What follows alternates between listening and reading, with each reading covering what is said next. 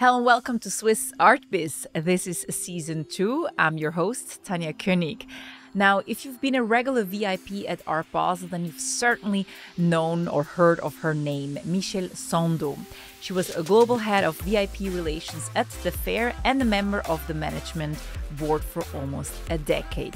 Prior to that, she headed Christie's uh, in Zurich and is now back in the auction business as managing director of Grisebach Auctions in Switzerland. Hi, Michèle. Welcome to Swizz Art Biz. Hello. Uh, so, Michèle, you've just returned from the 60th Venice Biennale. What was uh, your impression? Listen, I got back kind of full of full of energy, insp- inspiration, and I really loved this edition. I've been there been going there for many years, and it was an edition which really filled me with joy.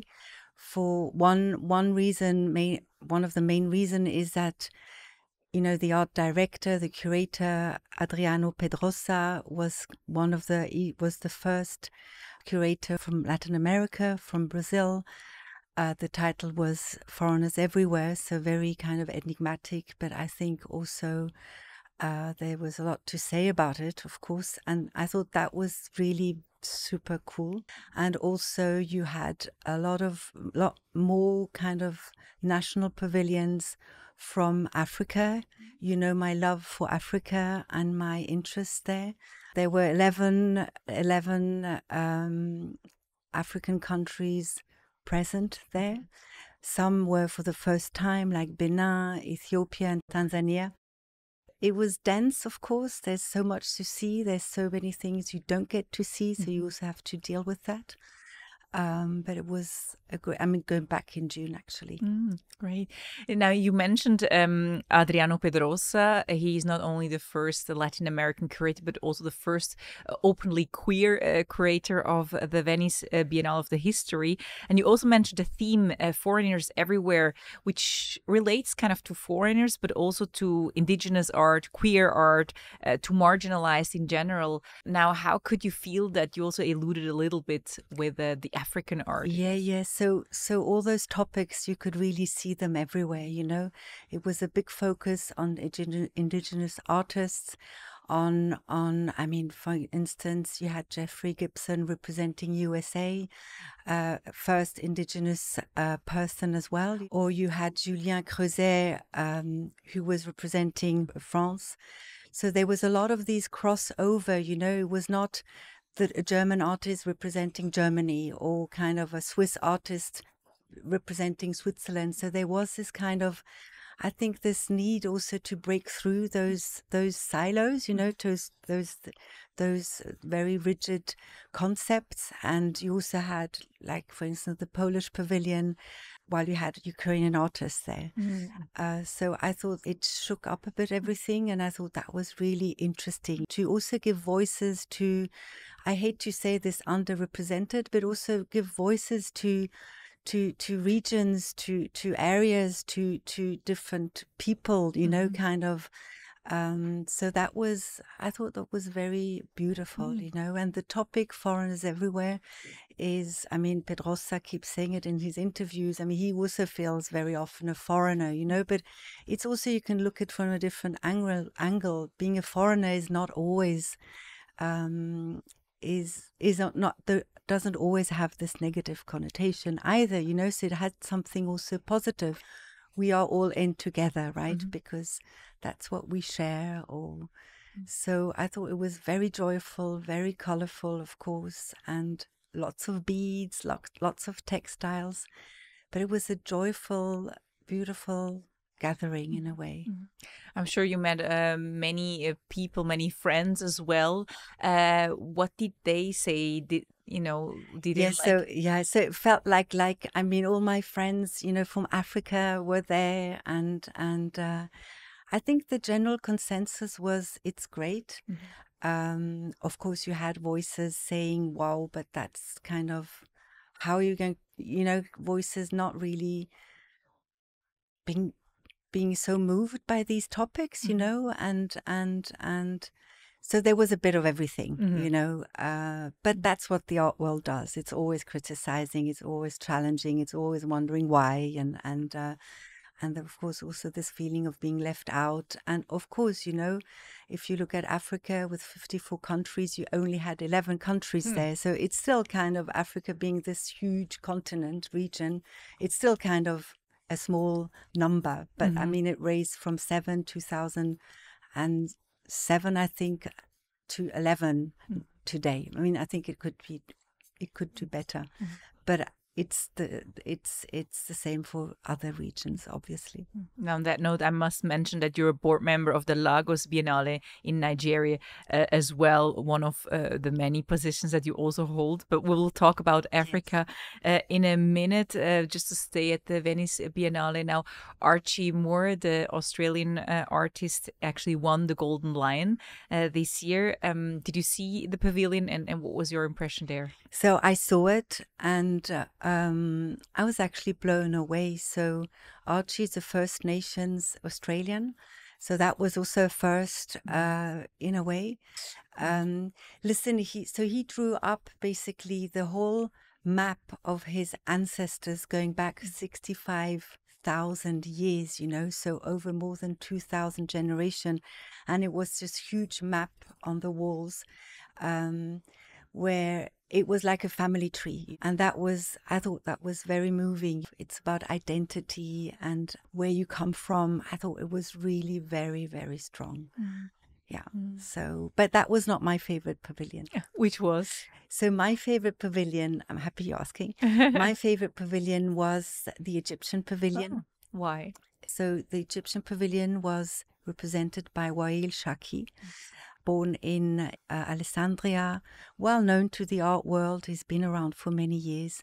And he created an opera, a film, and it was on a the, the topic was drama 1866 if i'm not mistaken basically that year that time when england bombarded alexandria alexandria that's where he comes from and it was done in such a subtle beautiful, very aesthetical way. It was an opera, you know, in eight acts. So I thought, you know, videos is always kind of tricky in a, at a biennale because you never really have time because you want to see as much as possible. And I sat in there throughout the, the from the beginning to the end. I was mesmerized.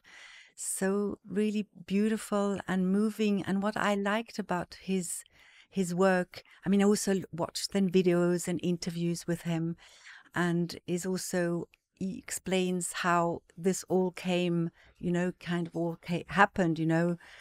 Uh, the, the the the the Egyptian government getting in touch with him in September, you know, just a few months before the opening, and all the struggles and all the challenge he had, you know, explaining that he, all the people, basically, there were, I don't know how many hundreds of people on the on the on the on the being being part of the cast, you know, and uh, little budget, of course. He had to do also the fundraising, but it was just these these voices as well. You know, it was an opera, of course, and explaining all this this this this moment in history.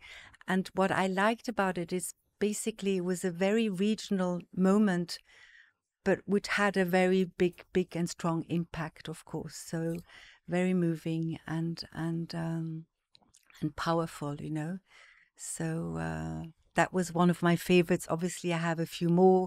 Zimbabwean Pavilion also being one of my favorites, but I'm very connected with with the people behind it, with Raphael Chikukwa, the artist. There was the Estonian Pavilion uh, was basically the pavilion which was the furthest away, you know, from the epicenter. So you really had to want to go there, mm-hmm. and that that's what I like doing, mm-hmm. you know, kind of really going there where not everybody shows mm-hmm. up, you know. Mm-hmm. So mm-hmm. that was also beautiful. Or the Nigerian pavilion with uh, with one of the positions with Yinka Shonibare, Nigerian, mm. uh, important Nigerian UK artists uh, that was also extraordinary what he put together, you know. So I could go on and yeah, on. I can tell. Uh, but it's good to hear. So, for uh, anyone visiting Venice Biennale, to make sure, for instance, to sit down in the Egyptian uh, pavilion and take that time yes. for that yeah. Uh, movie. Now, like the Venice Biennale, also your background is quite um, cross cultural, uh, one could say. Uh, you were uh, born in Zimbabwe to Swiss parents, I guess? Yes. Yeah, to Swiss parents. Yeah. Um, then you studied East Asian art history and sinology at the University of Zurich and in Beijing. You spent many uh, many years in China and Taiwan. Uh, so all this happened actually before uh, you entered the art world. What was your idea when you chose that subject? Um, when you picked uh, East Asian art Yeah. and, and sinology, did you know that you wanted to go to the art world? Not at all. No, no, no, no. So it was all I so born like as you said, born in Zimbabwe. My mother was born in Zimbabwe too. Mm. Um, I ended up and I lived in Niger, Niamey as well. So we we we I think in my until my my twenties I moved seventeen times, you know. Wow. And um, so I ended up doing my finishing my high school in Neuchâtel. That's Mhm. where my father comes from. That's where I have, my name is from, Sandoz. And I suddenly had this idea I want to go to China and learn Chinese. But it was like, you know, it was like suddenly you wake up and you have a vision and and then I got a job offer which allowed me to go to Taiwan. And so that was my first touch point because until then it was more Africa, Mhm. Europe, and so it was my first touch point in Asia. Mm. And I was I was 19 years old. I got there and I got a job as a as a as a French teacher in a school in a tiny village Taitung on the east coast of Taiwan. Um, and after three months, I just thought, wow, that's this language just sounds just so beautiful Mhm. and so enigmatic. And I needed this kind of this deep dive into a new culture away from my family. I have an identical twin sister. Uh-huh. So it was, you know, when you when you it has its beauty, but it's also kind of you need to find your own identity and find out who you are, what you want. So I needed this deep dive into this new, completely new culture, you know. And uh, after three months working there, I was kind of the only, almost the only foreigner there, foreigner who and you couldn't speak a word of Chinese. So I really I, I started learning it like a like a maniac and I loved it, you know, and after one and a half years I I I was quite fluent Mhm. and and then I traveled to China. Back then, you know, it was the end of the eighties. Um, I decided to travel through China and back then of course it was a different China mm. than we know now. Mm. It was literally like 10, 10 and so years after the end of the Cultural Revolution in 76. So it was a very different China. But I, I don't know, I was very, I felt very connected and uh, I think I found myself there. Mm. And I remain very connected Mhm. to China, to Taiwan, to Asia overall. You know, I feel very at home there. That's interesting that you say you you find uh, found yourself in a total strange place. Yeah. place. One could say. Yeah, I think I needed that. You know, I had no references there. Mhm. You know, and this is what I. Yeah, it was um, was an interesting Mm. experience and and journey, basically, which which kind of yeah, which which uh, was the beginning of a of you know my my career. You know, and and uh, Mhm. Adult life in a Mhm. way. And you said that you basically were a stranger in that world. Um, did you have the same feeling growing up in in Africa in these different places? Yeah. You were also So I was I was always feeling a stranger, be it in Harare or be it in Niamey, Niger, or even being it in Zurich. So I I decided to after this two years of China and Taipei and Taiwan and Hong Kong, I decided to move to Zurich, you know, Mhm. which was also a city I hadn't I didn't know, felt like a foreigner back then as well. But I kind of like that because it gives you in German you'd say certain Narrenfreiheit. So, you know, that's why I was saying at the beginning, I think it's it's uh, of course it's complicated for for in many areas, right? But for me it was like uh, so I felt like a foreigner, but I also I'm a bit like a chameleon, you know. I can I can very quickly um, be part of some, Mhm. something, adapt and mingle and blend in. But that probably So, uh, comes from how you grew up. I think so. And having, you know, mother who was, of course, her parents were were were Swiss, but she grew up in Zimbabwe. This father from Neuchâtel, who was you know, I think so. But I, th- I think it's also part of my DNA of, of part of being a twin. You know, Mhm. Mhm. Um, you have to. Yeah, it's it's it's interesting, definitely. Mhm, mhm. Yeah, very much. So when I came to Zurich, I decided I wanted to really study Chinese Mhm. language, so sinology, and um, How old were you at the time then? so then I was 22, Yeah. mhm. um, and I thought it was very brave to do it in Zurich. I could have done it in in in in geneva you know, that was closer to one of my homes. Um, but back then, you could only study sinology as a as a main main subject, you know, in Zurich, you Mhm. know. And then very quickly, I thought, no, but if you do sinology, it's you have to decide it's politology or it's it's it's it's philology or it's history or it's and then there was this this this uh, Southeast Asian South Asian um, art history class, you know, which was which the institute was at the Rietberg Museum, a museum I've always loved, you know, kind of or started loving back then. And so that's what I did, and I very quickly then thought, art is what I want. I Uh-huh. think that's kind of where I feel the most comfortable. But but how did that happen? I mean, you had an interest in art already before. Not really, but because you know art. I mean, I'm sure you're familiar with with the, Chinese Shanshui Hua landscape painting. Mhm. With the, it's it's so interconnected with the culture, with with the life in a way, you know. So I didn't I didn't kind of back then think, okay, I'm moving from studying a language to going to the you know the art for me was all kind of very interconnected you know so it felt like i felt more at home there maybe you know? And so that brought me on this kind of into the art world in a way. Um, and while i was studying i i i had this big chance to get a job at Koller Auktionen, which is the biggest auction house in Switzerland. Um, and I very quickly was able, I was entrusted the whole department of Asian During um, your studies. my studies, you know, classical Asian art, you know, so I would cover Japan, Korea, but also Indonesia and all of that, and started doing all the cataloging and doing the auctions.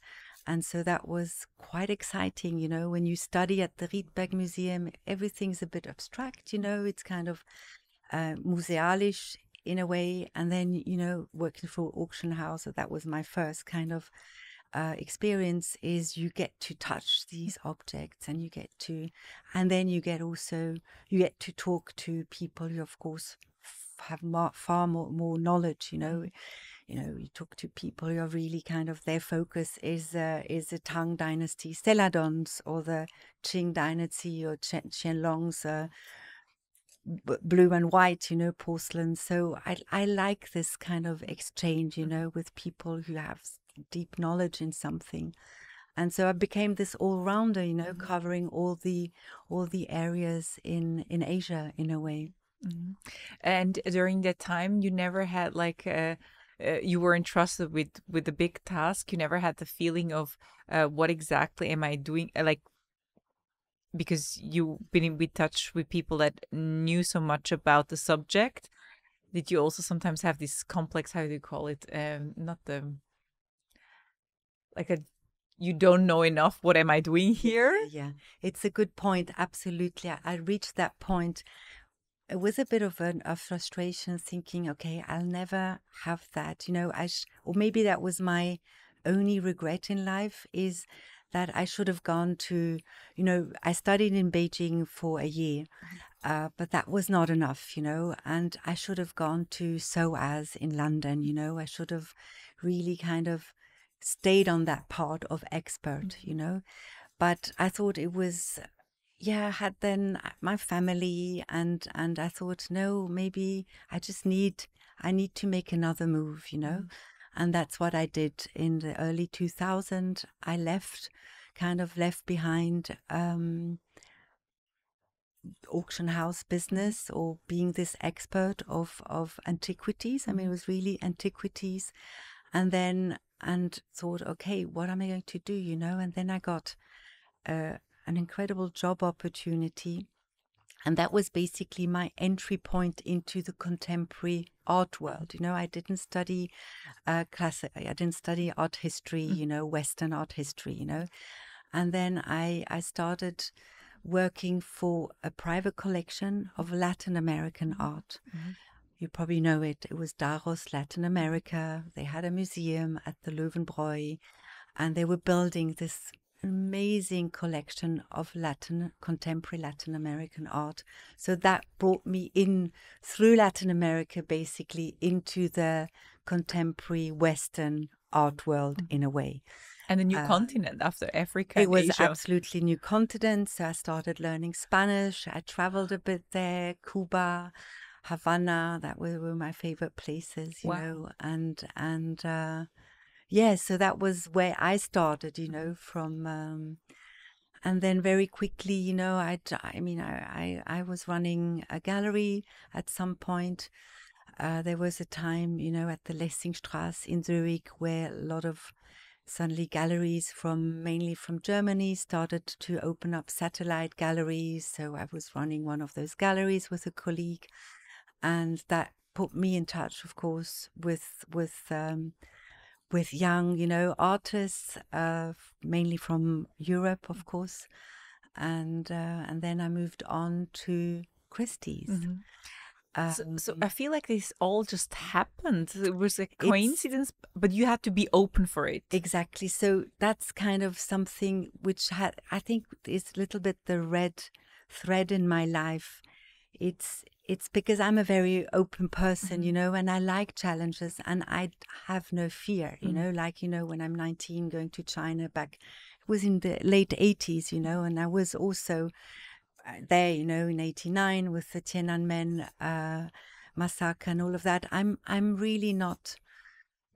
Yeah, I'm not. I'm not scared, you know. Mm-hmm. Um, and so and open for, and maybe it was not so much my career at the forefront of mm. things, you know. I was more thinking, okay, what's next, you know. And then there was this opportunity at Christie's, and my son was young, and I thought, okay, some kind of stability, you know. And so you Christie's, became a mother in between before, even before that. But I needed mm-hmm. to, mm-hmm. yeah. So I had other, um, and so uh, and it was just perfect, you know. And I run the the the, the Zurich branch, Christie's branch for yeah seven, seven years, years, as yeah. well uh-huh. and that was kind of also an interesting times because that was the those were the times where suddenly there was this big huge focus on on Chinese artists oh. remember and um and because I had known I had known some of them you know back in the early 90s you know and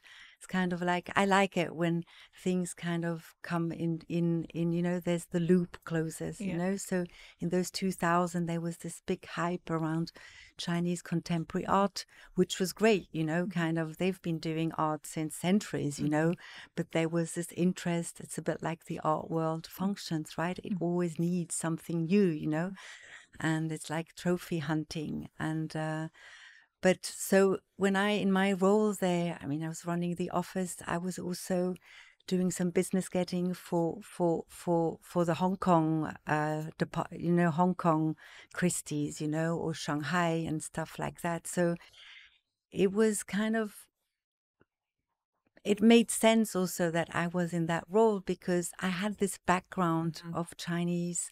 I knew I knew the culture, you know. I really I knew the whole history, you know, and uh, and that also allowed me to have beautiful relationships, you know, with with people in Hong Kong, mm. Shanghai, Taipei, because you know back then it was a lot of people who were just interested in quick wins, you know. Mm-hmm. But then suddenly, you know, you you I'm I was in front of people who realized that, you know, I used to I was able to write four thousand Chinese characters, mm-hmm. you know, and I was very wow. fluent, you know.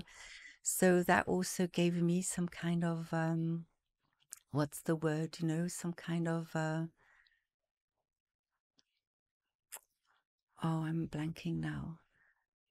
But it made kind of the exchange, you know, kind of a bit more fluid Mhm. and not just one sided, you Mhm. know? Yeah. because you were able also to understand their because you you Yeah. spoke Chinese. Yeah. Uh, Legitimation. yes, kind of yeah, the I yeah, was looking for. yeah. Yeah. yeah. Uh, now you mentioned the, the suddenly there was this trend uh, for Chinese Yeah. uh, art. Uh, Art Basel Hong Kong was inaugurated in 2013. Yeah.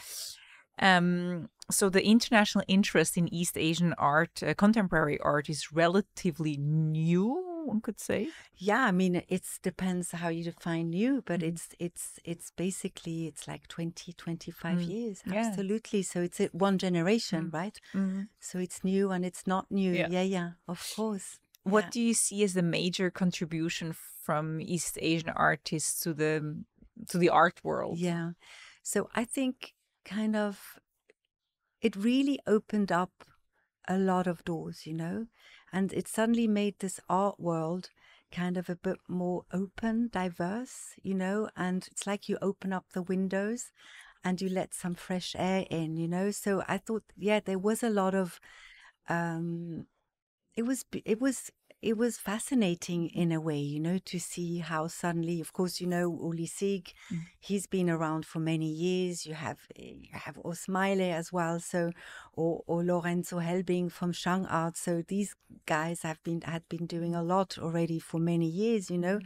But suddenly, I thought it was just it opened up a new a new chapter in a way in this contemporary art world. It was so Eurocentric and so American centric, you know. So suddenly you had new hubs Mhm. emerging, you know, and I thought it just made it just more fascinating and the dialogues, the exchanges, and um, yeah, and what remains obviously when you look back, and yeah, I was in in February, or was it in March? March, I was in Hong Kong. I think Yeah. you were there too. Yeah, I was there too. Yeah. And I was so happy to be back in a Mm. way. I had not been there the last time. It was 2020, just before COVID hit the world. And for me, it was a bit like going home, you Mhm. know, kind of connecting again with my friends I'd only been seeing over Zoom, you know. Mhm. Thank you, Zoom. You know, it really saved us during those Mm. difficult years. So it was, um, it was yeah it was it was beautiful Mhm. and to see what still what still is around you know everybody's saying the market is slowing down a lot of people have left hong kong and but i think that's kind of that's one side of the things Mhm. but what i felt is also a city which is buzzing and you have you know the m plus museum on kowloon opened up you know and it's just an extraordinary space of Mm. exchange of educational space next door you have the the gugong the palace museum which also opened up and so it's such a rich city Mhm. of uh, and i was also really happy to see you know all the people showing up you know Mm, mm. because yeah there's a lot of people just follow trends you know and movements and and dynamics but there's a, lo- a lot of people showed up you Mm. know and and galleries you know artists and and collectors obviously Mm. as well so i was i was i was happy and positive you know it's a huge city it's Yeah. still a huge region you know and it's um it's not because so many people are leaving. Of course, there are issues, obviously, but I'd rather not go into them now. uh, but there is um, lots happening as Okay, well. yeah, that's interesting what you say because as you mentioned, uh, I was there for, too for Art Basel Hong Kong in March. And I think the last time I was in Hong Kong, it was I don't even remember, probably 2016 or so, so really long Yeah. time. Yeah, Um, and I mean, the city looks the same to me. Um, but however, when I was at, at the fair, I had the impression, I mean, I didn't see everything, obviously, but I had the impression that a lot looked very decorative, um, not so provocative. And I also heard from a sales representative of a gallery, a Swiss gallery. She told me that sales were really slow in Yeah, that yeah. week. So you know, having worked for almost ten years in for an for an Art fair. art fair, it really depends to who you talk. mm. because I spoke to galleries who did great, mm. who were really happy. Western galleries, Asian galleries, you know. Obviously, I also had that kind of feedback. But at the end of the day, you never really know unless you have the you have the spreadsheet with all the results, but you don't, right? So I think it was, yeah, it was, um, yeah, we will see into, you know, next year who's coming back or, um, yeah, it's always tricky. now, I can imagine also um, that if you have relations already in Asia, it's easier for you um to sell your art or you have your connections yes and that it all depends on that absolutely especially in asia probably yeah and that's i have to say there's so many galleries you know western galleries who really stepped up there you know? They were not just coming one week during the art basel week and and and trying to sell their art you know or make new connections. I mean there's a lot of these galleries have spent time in china or in asia you know building those relationships.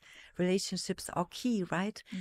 and so and i think that's probably when you talk to them you'll find out that that's just very important you can't just show up for a week and think that you uh, especially different cultures as mm. well. Remember, when when Art Basel was there. There's a lot of galleries in the West that were so annoyed because an Asian collector would go up and ask about the price immediately and, and things like that. But I think they all learned from each other, you mm-hmm. know, that how to do things or how to to accept that you don't do things like they they use chopsticks to eat and we don't you know that kind of this this i thought always a bit of common sense cultures mm-hmm. are, are mm-hmm. different mm-hmm. and, and behaviors and uh, behaviors uh... and and uh, so I, I thought you know after yeah there's there's uh, positive changes mm-hmm. as well mm-hmm.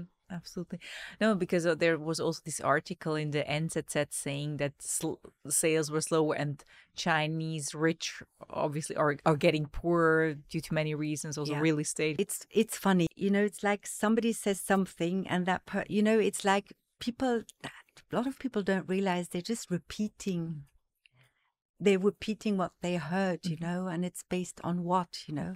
Mm-hmm. It's so difficult. Mm-hmm. I mean, you had over 200 galleries and the halls were full, you know. Mm-hmm. Mm-hmm. Um, but aren't maybe sales slower anyhow throughout the yes. world with high interest rates, etc.? Absolutely. So Inflation. I think that's that's that that's something I I would absolutely uh, underline. Yes, it is. It is. I mean, look at the the state of the world. We only came out of COVID, like you know, like a year and a half ago. We're still feeling kind of the the the, um, you know, kind of the results or the Nachwehen in mm-hmm. German. Do you think there will be kind of a shift in in Asia? Because I, it's also something I heard. Maybe you know, Art Basel, Hong Kong might pick another city. I'm just yeah, putting yeah. it out there. So those rumors have been around for many years. I don't know. Yeah. I don't know.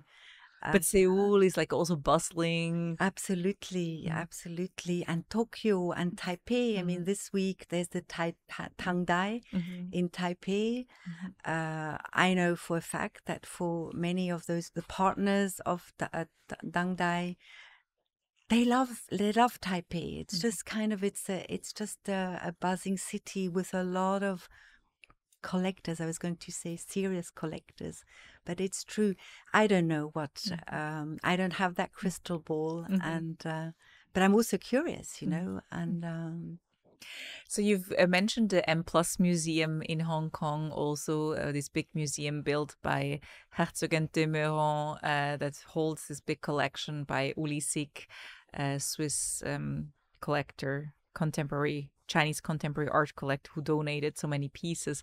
I thought, yeah, it was wonderful. It yeah. was amazing. Remember Mahjong in Bern? Mm-hmm. That show. Mm-hmm. I mean, I was just really happy to to see a lot of those artworks there in Hong Kong. I loved it, and obviously I saw Uli there with mm-hmm. Rita Sigg, and uh, it just felt so so good. And seeing all these masters um, there, you know, in that context. And uh, was it a good move so that he picked Hong Kong to donate his, his pieces? Well, that's absolutely, absolutely, absolutely. But I know there's a lot of other, you know, kind of uh, ways of looking at it. But I think it was, uh, it was great. It was great.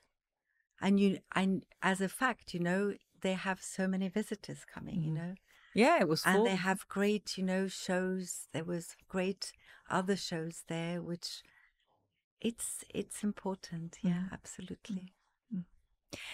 Um, maybe to go back to your career, you you've been seven years with Christie's, then you moved uh, to Art Basel as head of VIP relations. Uh, why that move? So it's uh, back then it felt like you know seven years is like my my cycle, you know. And so I was approached by Art Basel, um, asking me if I'd be interested in in uh, in you know in heading the VIP program globally for So they the approached shows. you. Yes, yes, yes, yes.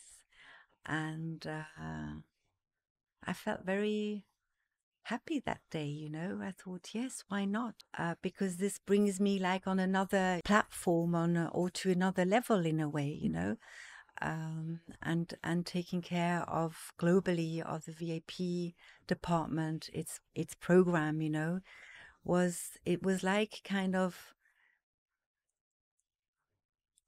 it was like a natural thing. I have my background with, I mean, my relation with Africa, my relation with Asia, you know, and Latin America, and it was kind of working for this global platform um, you know, was was going to allow me to kind of build even more bigger networks, you know, and bring everything together, you know, and my understanding for different cultures, my my affinity with many of them, um, it seemed like the perfect move, you know, Mhm, mhm, and it was. It was an extraordinary journey. uh-huh, uh-huh. Uh, I mean, art fairs um, are often also criticized for being too materialistic. Um, however, there's still cultural bridges. So, how much do you see your, you know, your career as a role as a as a humanist? Okay, that's a very interesting question. So I see myself as somebody who's building bridges, you Mhm. know, and and uh, somebody who's who who who who loves creating communities, you know. So that's basically what I did at the beginning of my career at at Art Basel. You have to figure out a way of staying relevant, you know, and working for three shows. Of course, back then it was Hong Kong, uh, uh, Miami Beach, and Basel um, and yet being this very Swiss Basel company. So it was really through this extraordinary team I had of over 30 VIP representatives who represent, who still are representing, you know, Japan, Taiwan, Australia, Brazil, Mexico City, and of course all the important hubs in Europe. It was this kind of it was it was also building a community amongst us because mm-hmm. in, if you want to be effective and you want to kind of because our role was basically to make our galleries happy because the galleries are the are the, the clients, clients, of mhm. Art Basel in a way. And so how do you make them happy? Of course you you bring as many new collectors from all the regions because they expect of course to have after this hu- huge boom in Asia they were expecting very quickly to have the Asian collectors come to Basel. But then, obviously, in Miami Beach, there was also that expectation to have not only the Latin American collectors, but also keep having the Europeans and, of course, also the Chinese. So, how do you do that? So, it was kind of it was with this machine I had these people who who are based in these regions and know what's happening in Sao Paulo or Rio, you know, and and know knows who are the new stakeholders, who are the new collectors, and make sure that they are aware and they they are attracted, you know, to to to visiting us and they are given access. That's a big topic, right? Access and who doesn't and things like that. But then I went on building these communities. Um, basically, not everybody wants the same thing, right? I mean, it's it's so we started with a VIP weekend program. So for people who don't necessarily have access to all the galleries or who don't have have uh, uh, or who like to also move around in a group, you know. So we started building these communities, and then we did something extraordinary 2017. I don't know if you remember that, but it was Art Basel Cities, mm-hmm. you know, mm-hmm. this program. And our first city was Buenos Aires. There was really this cultural program of immersion and of a collaboration with this with Buenos Aires mm. as an, a very important cultural city, of course, and that was also the beginning of a big adventure in a way. Is move away, move out of this booth kind of context, and then kind of use the expertise of Art Basel, but also kind of exchange and work together with the city. So that was kind of that's where we started also building these communities who would travel with us. We also did kind of a big, big, big um, uh, a big uh, trip to Shanghai. You also start realizing that you you in order to stay relevant, in order to you also have to have this human size, this approachable kind of attitude. Is it so, something that you would say is sometimes not, you know, the art world is sometimes wants to be approachable but does is not or? well i think you know if you talk to young collectors mm. and and I think they also have their challenges when they go to a big gallery. It can be very intimidating. Mm. So I think we helped through our program and and exchange we helped kind of mitigate that. You mentioned Art Basel cities. Um, our next guest is going to be Marie Levy, who actually was part of that project. Yeah. So we talk about that. But it, it there was just one city in the yes. end. It was just Buenos Aires. Yeah. But you had the plan of doing it we, in yes. in other cities, yeah. right? There was a big plan. I mean, in the pipeline, we had a lot of cities who were interested. And then, yeah, um, it was also COVID, no? It was just a, before COVID. There were kind of, it was just not the time to move ahead with that kind of program. Mm. I don't know, maybe it ha- will happen again, but back then, and uh, mm-hmm. it was uh, felt safer to to let that go. Mm. Uh, what was the most rewarding aspect of working at Art Basel? Yeah, so listen, in those nine years, it was basically meeting all these extraordinary people, you know, be it collectors, be it um, gallerists, be it artists, be it institutional people or the partners of of of Art Basel, you know. And all of this, you know, is one big ecosystem and all of this can only happen if we we collaborate and we do it together. So I think it was really meeting all these people, kind of creating this huge web of extraordinary people, experts. And it was also through those years where I really wanted to bring Art Basel closer to the African continent, mm-hmm. you know, so to close that loop. Mm-hmm.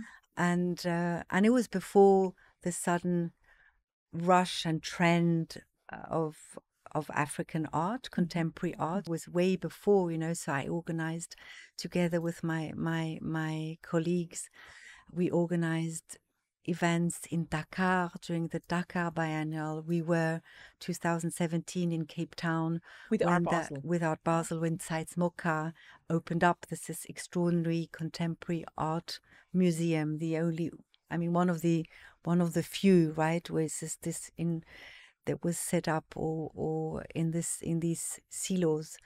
And we were there you know we did an event so we we did a lot you know um, and that allowed me of course also to create new ties and build new alliances and get closer to be it nigeria be it kenya be it harare zimbabwe dakar south africa uh, morocco um, so that was basically what I loved about it, I was asked to join, I mean, sit on different advisory boards mm-hmm. now. The Lagos Biennial, which took place this year in February, or Zeitz MoCA, I'm one of the founding members of the Global Council of Zeitz MoCA, together with Yinka Shonibare, for instance, which I just mentioned, or Julie Mehretu, or some other extraordinary people, artists, collectors from the continent. And I'm supporting the Art Harare um, uh, fair. Uh, and also, you know, so that that was basically that was it opened a lot of doors now you mentioned all these uh, events in in africa on the african continent Um, what is happening there right now? How do you see the art market or the art world um there? Well, Is it's it's I mean it's always been there, right? I mean that's also something, you know, we we laugh a lot, you know, kind of wow. Uh, but art has always been there, right? It's it's uh, but now the attention is Mm. there, and you do have more of the, the African galleries participating in in in in fairs in Europe or in America or also in Asia. There's much more cross pollination in a way and crossover, and there's a lot going on. But of course, every country has its challenges. You know, like if I can take Zimbabwe as a as an example. I mean, the Zimbabwean Pavilion.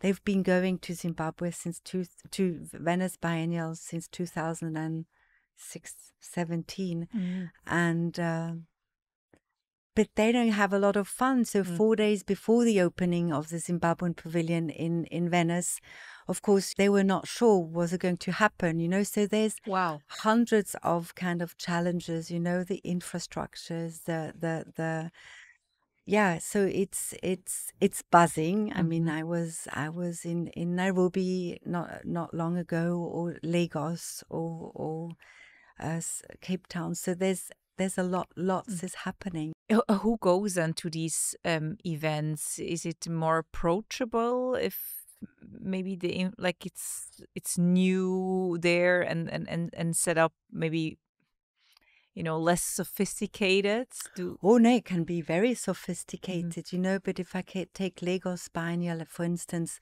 it was open to the public it was like a festival you know Mhm. you had music you had dances you had performances so it was and it, it was taking place in the middle of the city. It's very accessible in a Mhm. way, Mhm. absolutely. Absolutely. Going back to your previous question, you know, like end of May uh, at the Kunstmuseum in Basel, Mhm. very important museum, there's going to be a show on a retrospective on figurative African Mm. painting, which was which comes from the Zeitz MoCA, you know, Koyo Kouoh is the director, and this show is traveling and it's coming in a few weeks to Basel, you Wow. know. So Mhm. there is this interest, no, and and and which it's about time, you know. Yeah, yeah, absolutely. Yeah, Yeah. absolutely. Now, from your experience at at the fair, um, how do you see it going? Um, continuing it in the long term, the whole fairs. The whole fair business. Yes. Well, listen, that's also a, diff- a difficult question. You know, what I see, there are more and more fairs taking place, you know, uh, like now in Taipei. Uh, you know, not long ago it was Brussels. Um, there's just a lot of them, you know. It's also maybe too too many. I don't know. It's, I think time will tell, you Mhm. know, kind of how much fairs does does the art world need, you Mhm. know? It's it's a difficult question. It's uh you go to these fairs and and you know Frieze was didn't ha- happen just uh, a few weeks ago Mhm. right so there is there's a lot of people going there if you look at the numbers you know it's like 60 80 90,000 or 90,000 maybe not but still there is this because fairs are platform right right of exchange Mhm. platform where so many things can happen, you know, and where, of course, you can meet your friends you've not seen for ages. Mm. So these are perfect places where so many things can happen, exchanges where, you know, you have the talks program, which are most of the time extraordinary and, and, it just draws a lot of people, a lot of attention. So, yeah, Or do you think it might be become more regional? maybe that's what a lot of people say it could well be you know Mhm. that it's uh you know because there's there's been this m- m- melt you know mixing you know kind of maybe yeah maybe suddenly there was will be will tr- i mean apparently after covid we thought that we'd be traveling less i mean i don't think that's really happening No, it's back to Uh, so before.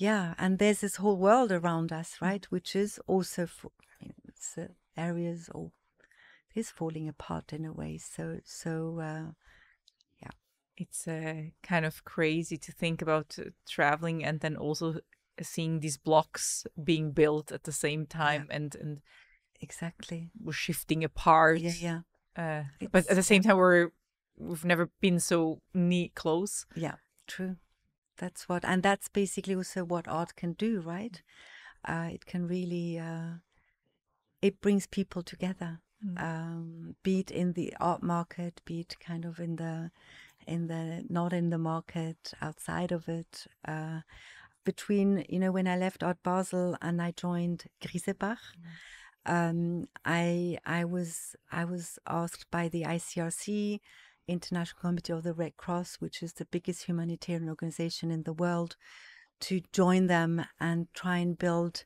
a bridge, you know, where art and humanity could be connected, where art could serve as a as a tool. I thought that was kind of an extraordinary opportunity here again, you know, where I could see how much art could really do or how art could really support different causes. That was kind of also something I I loved looking at, you know, and exploring through the through the eyes of the artist.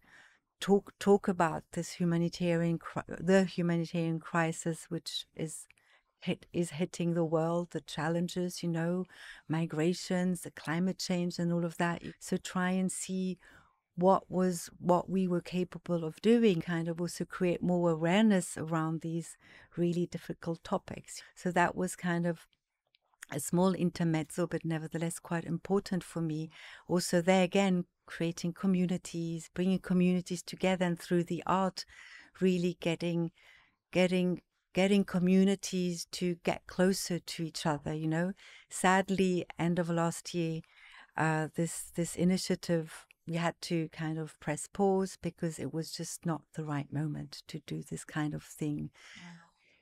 Because complex you know kind of because of the of the state of the world because of um yeah uh, it was just not the right moment. Doesn't mean that we won't pick it up again and because i really believe art has the power not only to connect people to but it connects you to your humanity or to our shared humanity in a way um yes yeah, so now i'm at grisebach mm-hmm. so that also was was beautiful opportunity which was given to me. So I'm back in the auction business. In the auction business. Some uh-huh. people say, or I've even said it in some interviews, back to my roots. Yes, back, exactly. Yes. which so, feels good. Yeah. Does it? Yes. Uh, I mean, the auction house Grisebach is well known for German classical modernism. Um, yeah, which is kind of different from uh, from the um, large international and contemporary art at Art Basel. Um, so is that like a new direction that the auction house is signaling uh, by having you there in yeah. Switzerland? So listen, there's this wish, yeah, to to become more international, you know, and focus also on the contemporary art as well. Um, that was, yeah. I mean, Zurich is the is the only Grisebach office outside of Germany, so that's kind of, uh, I think, one of the plans. Mm-hmm. Um, and for me, working for it's been now four months, so it still fair, feels very fairly new. It's working for kind of a an institution who has so much knowledge. You know, mm-hmm. that's kind of first time I went to meet all my colleagues in Berlin. I mean, there are about in total eighty of them.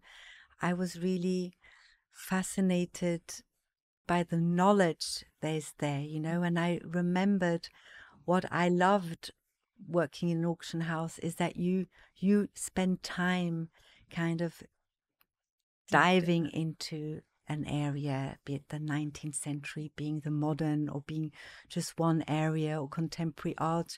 So I have all these colleagues, colleagues, kind of who are specialized in these different kind of, which I really envy them mm-hmm. because uh, you're the all rounder. Uh, I'm You've still the all rounder, you know, and with my background more like classical mm-hmm. Chinese art, you know, I'm really kind of a building the uh, bridges. Uh, I'm building the bridges, and my intention in Zurich is, of course, to be a little bit the window towards a more international um, crowd. I mean, it's I'm not. I mean, Grisebach's everywhere. You used to have an office in in New York, but it's maybe yeah that focus mm. is has become important. But nevertheless, Zurich.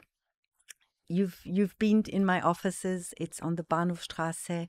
It feels like a bit of a living room. So I like this human dimension, and it's really you know what doing what I do best is mm. creating communities, bringing people together. Mm. So I intend, we don't do auctions in Zurich, so I really intend to collaborate. And I think that's a word or something you you will know you've noticed in Venice as well is you can't do this on your own anymore. You you can't you it's it's these silos, all of that, it's kind of it's over. You need to collaborate also in a way to create more more fascinating, deeper conversations in a way who who who can inspire, who can kind of create these étincelles and some magic, you know. So I'm going to collaborate with all my friends across the world, you know, and it's kind of really beautiful that Grisebach is giving me carte blanche here. Mm. So I'll, I'll be starting kind of uh, starting this new series of collaborations and it's going to be with galleries with artists with with curators with private collections you know and bring them um, to Zurich in a way. Can you give us a hint of who you're already working yes, with? Yes, so so one of the one of the that's going to be my first show in on the fifth of June. Mm. Just really, literally um, ahead of our Basel. Ahead of our Basel, but also mainly, you know, kind of during the Zurich Art Weekend, which is also has become such an incredible event or festival in a mm. way. Everybody's dressing up and getting ready for that time. And so my first collaboration will take will be with Kurimanzutto, mm-hmm. a gallery I love gallery based between Mexico City and New York. Mm. And I won't reveal more than mm-hmm. that. Mm. Uh, but it's going to, we're going to show some extraordinary artists, which again allows me to close a loop because artists from Latin America I've known back in my old days when I was working for Daros Latin America. Another show was is going to be with a group of artists from Zimbabwe, mm-hmm. and uh, the the the the the thing there is that my my my friend curator Richard Mudariki he'll be traveling with a suitcase full of art, five different artists, so also kind of small small sizes, just everything what can fit in a, a suitcase. in a suitcase. That's the idea. That's the idea in a way, but also kind of giving a tour d'horizon of the art scene uh, in Zimbabwe. Mm. And another collaboration is going to be with, but I'd rather not reveal too much, mm. with a very dear artist friend from Marseille. Mm-hmm. Um, yeah, so there's and and also one other project I'm having is with the gallery from Shanghai. Okay. Who will bring artworks from a from a an artist who went through the whole cultural revolution. Wow. You know, mm-hmm. kind of as part of the Wuming, the the no name mm-hmm. group. Mm-hmm. So I'm bringing all these, you know, friends to Zurich. And, That's amazing. And uh, yes, I'm, I'm honestly, I'm very excited about yeah, it. it sounds incredible. You know? Yeah. And how does that work? If it's a collaboration, then uh, one can purchase the art. Yes, so it will really be a case by case. Mm. Sometimes it's going to be a selling exhibition. Mm. Sometimes it's going to just be art, just to to create a dialog mm-hmm. you know, and I'll have talks around it and really get people to come and visit me. Mm. In in at Grisebach on Bahnhofstrasse, uh, like salon you'd call it uh-huh. in the past, but it's it's uh, this idea of pushing that a bit more and and bringing my friends and um, but i mean in the end an auction house is also there to do business so. absolutely yes so i won't be doing 10 of them you know a year you know maybe it's going to be three a year depending but i also intend to to collaborate with my neighbors. The Bahnhofstrasse mm. has some incredible uh, brands and and and spaces. The Tonhalle is not far away, mm. and of course the Schauspielhaus uh, either. You know, so really create there some some some new alliances. So also with uh, locations, with institutions that exactly, not, yeah, uh, visual arts, but other, yeah, yeah. You mentioned Tonhalle and Schauspielhaus. Exactly, who knows, right? So so. Uh, but also you have Audemars Piguet not far away. You have Pictet. You have mm-hmm. these.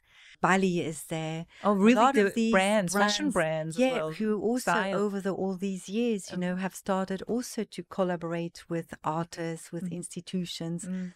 And I think I won't stop, you know, kind of uh, try and. Uh, but you're right. My main my main activity, obviously, is to to acquisition and sales, of mm-hmm. course, yeah, mm-hmm. but also um, growing the brand and uh, and creating communities and a family around it. Mm. I like uh, what you said. You won't stop. Is that something that has led you throughout your life? Yes, I think so. I mm. think I won't stop. And what I also really enjoy doing is I have a few young people I support, I coach, I'm like a mentor to mm. them. And that's also something I won't stop mm. because mm. you reach a certain age, you know, you've done so much mm. or done a lot, you know, and and uh, you have a a pack back full, you know, but it's also I find I it's also time to me right now. I mean, we all have our cycles is to to also um yeah to to to to share mm-hmm. and to support and to give guidance that's the beauty maybe of getting getting older mm-hmm. and and uh, and being a Grisebach it matches also this one my cycle you know in a mm-hmm. way where art is at its center you know if you look through their catalogs i mean you just are amazed you know now we also one of the the sales is going to be a collection of works on paper mm-hmm. uh, belonging to Rudolf Zwirner. And then you you go through this catalog to say, wow, I mean, there's still so much to learn as well. So mm-hmm. it's also maybe that what's which which is also exciting for me because you feel like you're at the, at the epicenter of a place where there's so much knowledge mm-hmm. and expertise. It's kind of beautiful if you just never stop discovering something and and learning and uh, and yeah the the world is full of secrets full of beauty as well mm. so i see it's a new direction for grisebach uh, by having you but it's also a new direction kind of for you personally Absolutely. as you yeah. say with this cycle that yeah. you're mentioning yes exactly. Sounds very exciting um, to hear also all the projects that you, that you're planning. Um, so we're definitely going to keep an eye on that, and and everyone else who is interested uh, shall also check out the website probably. Absolutely. And yeah. of course, uh, you also find Michèle Sandoz on Instagram, where you also take people um, on your journey. Um, and of course, you also find Swizz Art Biz on Instagram. Um, Michèle Sandoz, thank you very much for sharing all these insights and a little bit how, how you went into the art world and, and what you're planning. And um, best of luck. Thank you, Tanya. It was a very special moment. Thank you very much. Thank you. And uh, yeah, you can listen to Swizz Art Biz on your favorite podcast platform and watch the videos on YouTube. Uh, this podcast was co produced by Marcel Martin and a shot at a Tablecast Studios by Christoph Solmanowski in Zurich. Thank you very much for listening and uh, see or hear you next time. Bye bye.